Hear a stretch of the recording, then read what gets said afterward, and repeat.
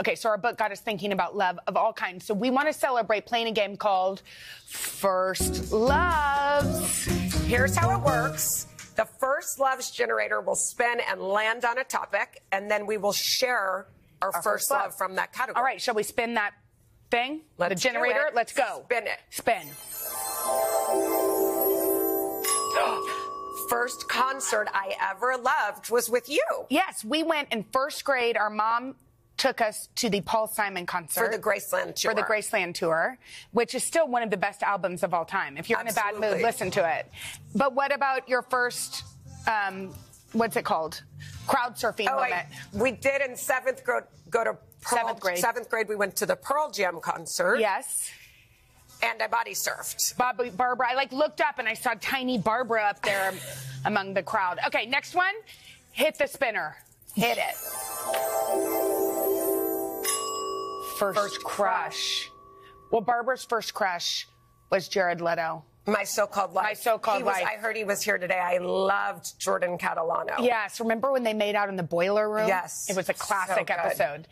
What about you? Who was your first crush? Uh, who was my first crush? Michael Bolton. I, that is, Did you listen to Michael Bolton all the time?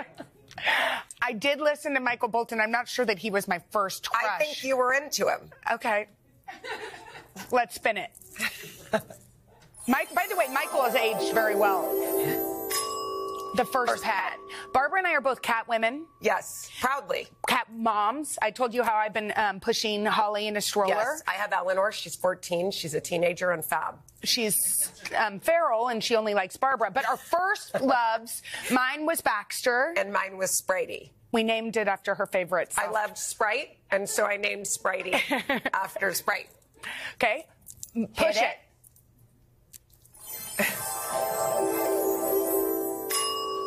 Oh. The first cocktail I ever loved. I think they're trying to shame us with our underage drinking, minor in possession of alcohol. Yeah, that was rude. I think this is shame coming from my own team, but I would have to say it was probably a wine cooler Definitely a wine cooler. or a natty light. Or remember there was something called Strawberry Hill or something like Yeah. that? I don't know if that's still around, but I liked it. It was all sugar. yeah, and it made you feel terrible.